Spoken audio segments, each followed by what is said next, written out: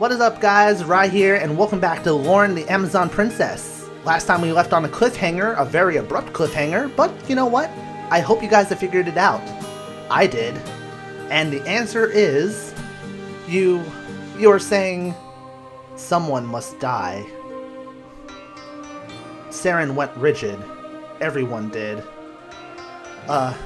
Sacrifice? Yes. Who? Cannot be merely anyone. I wish it were that easy, but the task required of the martyr is too great.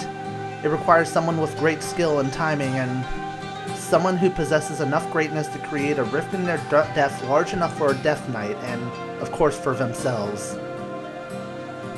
They could hear their army celebrating in the city through the windows, but not a sound was made within that room.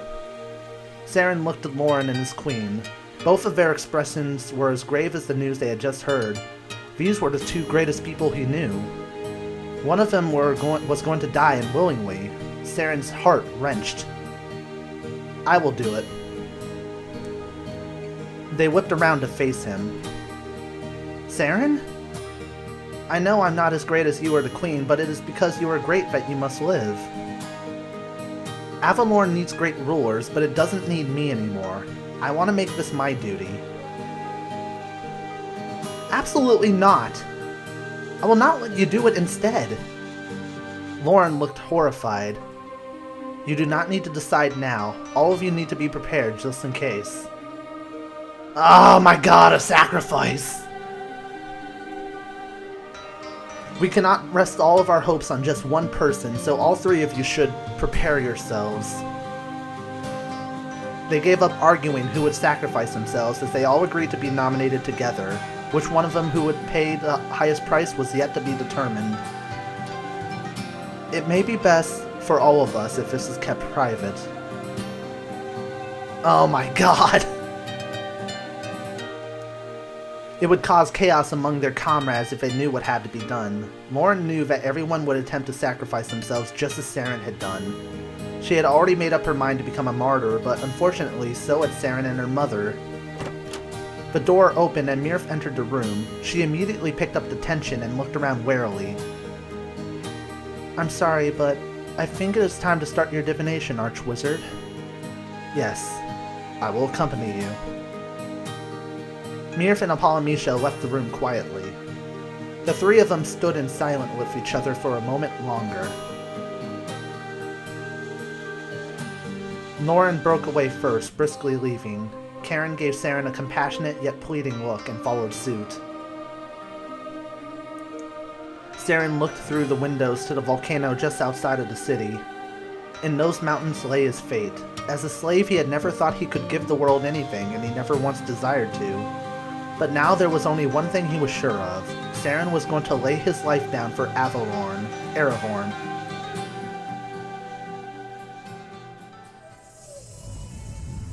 Oh my god, my heart clenched Fair. I... I called it the moment he was like, there's a catch, by the way.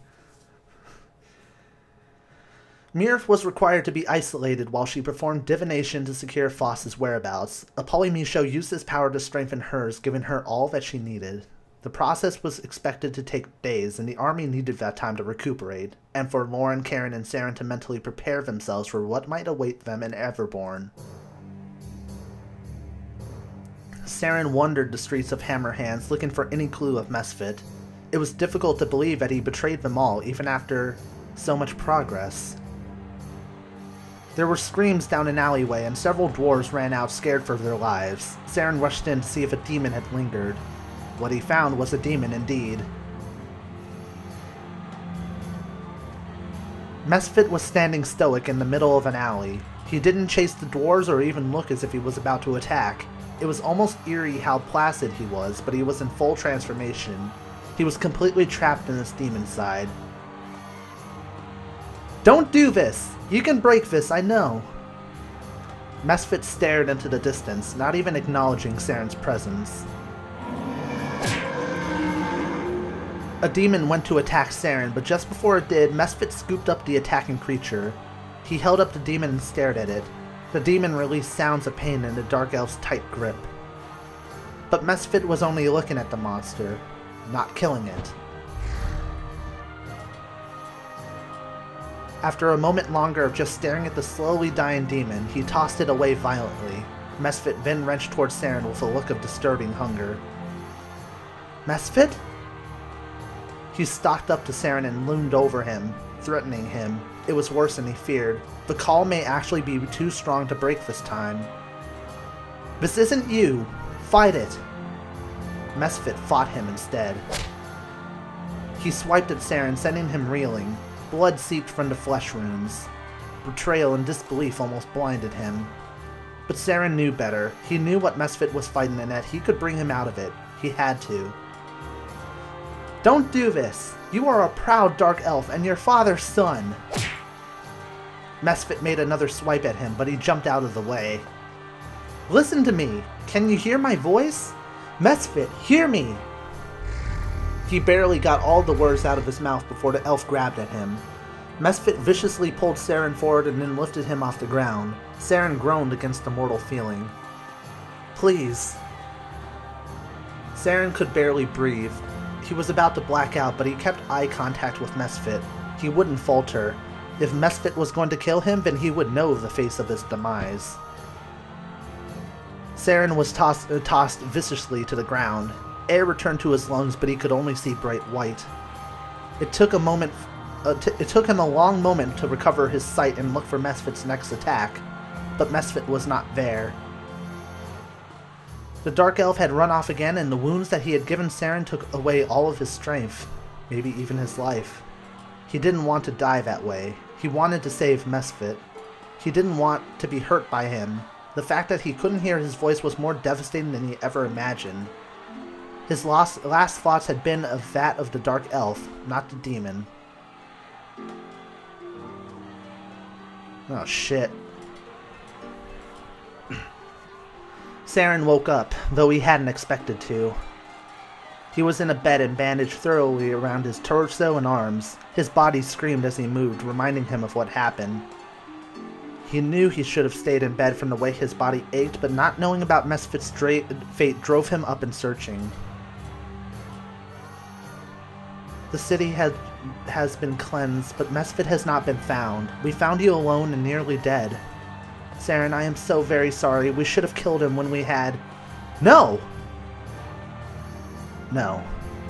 He swallowed and tried to ignore the burning pain coursing through him. I don't regret anything. Mirth's eyes were heavy as she looked at him with pity. Many demons have fled back into the mountains. Maybe he is among them. Saren was beyond grateful for her tip. There was no way he was going to rest in a bed while Mesphit threw himself away. He notified Loren and ignored her pleas as he headed straight for the Everburn Mountains. Saren traveled as fast as he could to the Dark Mountains. The search was hard on his body, and many times he wanted to stop and give up. But something else would always kick in, and he would continue his search. He almost couldn't process the sight of finally finding what he was searching for. It was Mesphit, but he had shifted, shed his dark elf garb as if he truly believed he was a demon now. Only Mesphit's name managed to pass from Saren's lips before he collapsed in pain. The demon Mesphit turned to see Saren on the ground and stared blankly at him. Saren groaned and grabbed his wounds. He was starting to realize how grave they really were. Mesphit turned around completely to look at Saren in pain on the ground. Mesphit walked over to Saren and eyed him curiously. Saren could not believe that Mesphit barely recognized him. A pain from deep within started to overshadow his surface injuries.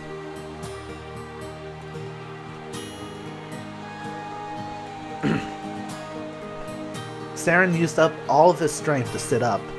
Mesphit began to look conflicted. Mesphit? Saren wished harder than he ever did for anything for Mesphit to shake out of his thrall right then. Saren's fingers almost touched Mesphit's arm. He was so close. His vision tunneled and his head spun. Saren fell backwards onto the ground again.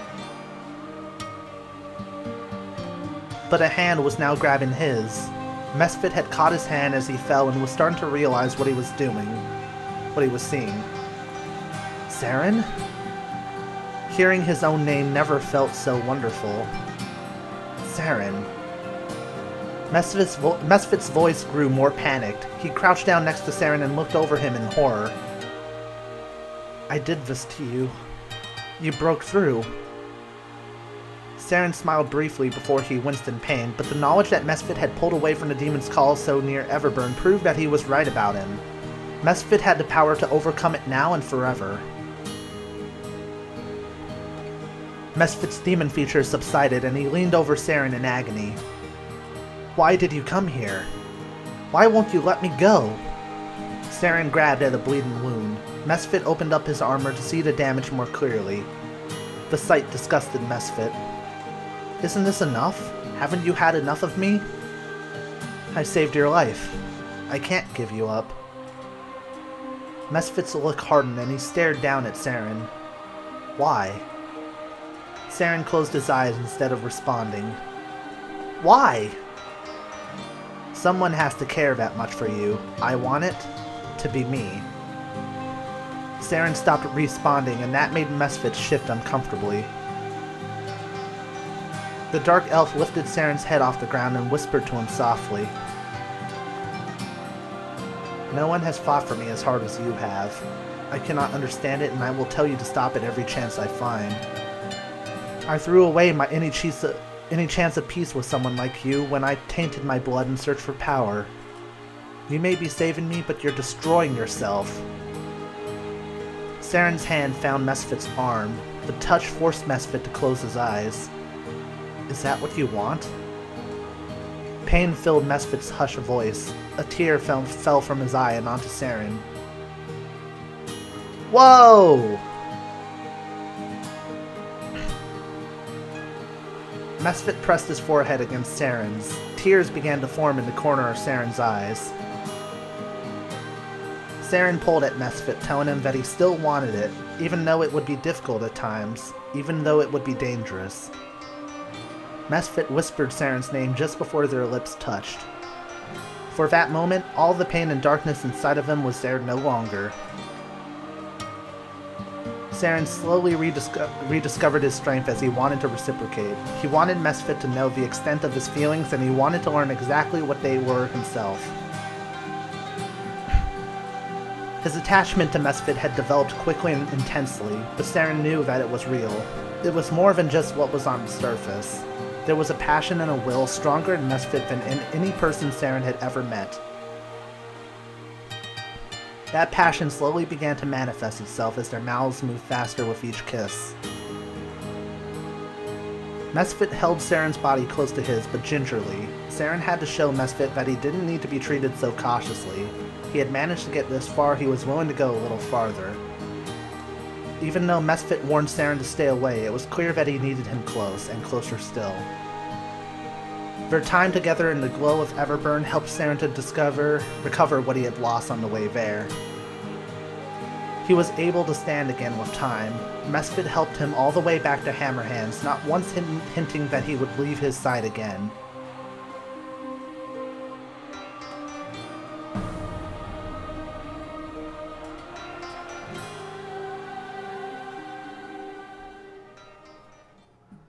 I approve. I approve hardcore.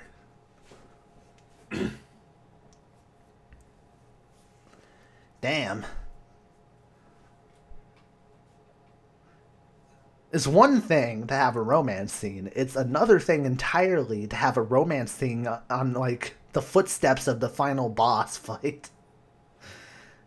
I think that's what gets me. We just basically made love at the base of Everburn Mountain, you know, the place where all hell is.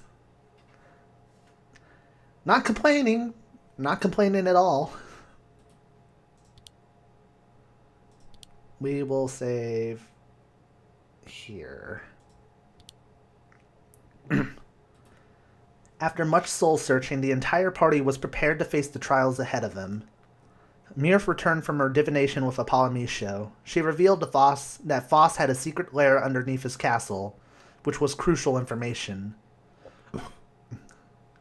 Loren arranged for the army to mobilize in the morning. They had but one more day to train and one more night to rest, and then it would be all over. Make way for the caravan! A long string of wagons rolled into Hammerhands, laden with crates, barrels, and heavily armed men. What are those wagons doing here? The city has been evacuated. We know that, and we know all that's about we and we know all about the war going on too. We're not stupid. So we wanted to help out. The other merchants and I got together our best supplies and we want to offer them to you. That's great, thank you. For a price, of course. Of course. have you men come to fight? We might have. Might? We're not going to risk our lives for nothing, you know. They grinned, showing that they were true blades for hire. I will pay you, you your dirty feed, but only because coin will be useless if we fail this next battle. Take it with my resentment. Gold is gold, lady. We are now under your command. We'll try to behave. Loren ignored their seediness, knowing that the war on Everburn was worth any cost and needed the help of any hands, even those of bandits. Totally worth it in my opinion.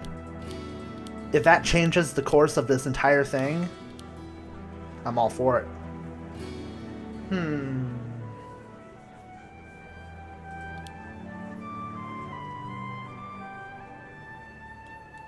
Looking for good weapons here. Rammus?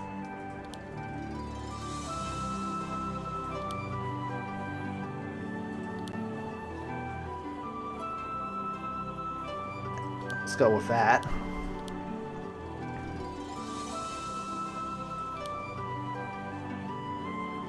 Just look for the best equipment available. Ooh.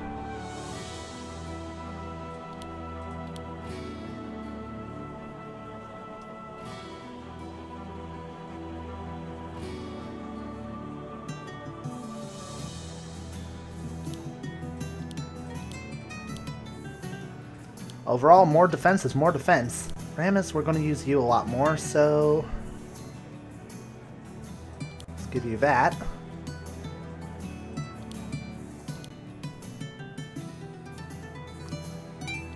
Give you those.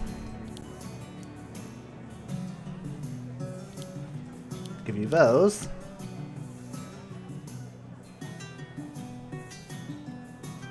Give you those. Draco, anything I can give you?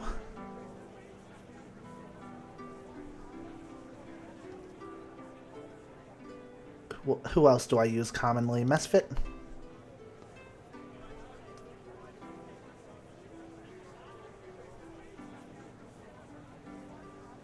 This will work. Ring of Agility.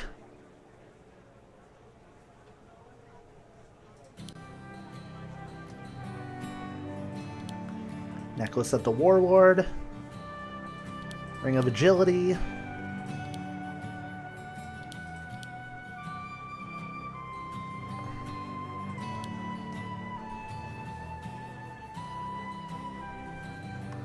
Just taking my time here.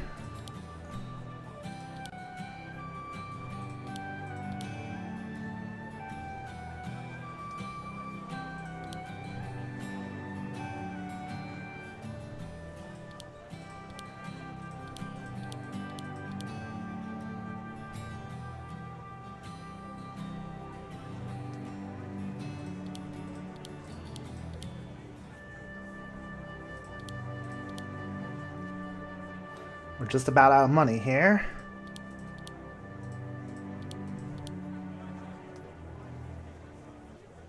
But totally worth it. Totally worth it.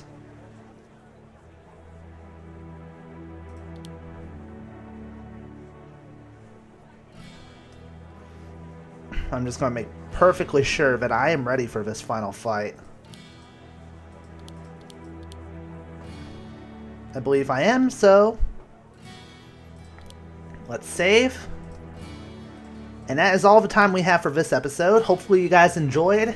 Got steamy, got sad, a whole array of emotions, and we're sure to experience more as the time comes. Until then, if you guys enjoyed this part, I encourage you to leave a like and comment as it helps and benefits the growth of the channel and tells me you guys are enjoying this playthrough. I am Rai. Happy gaming, everybody. See you soon.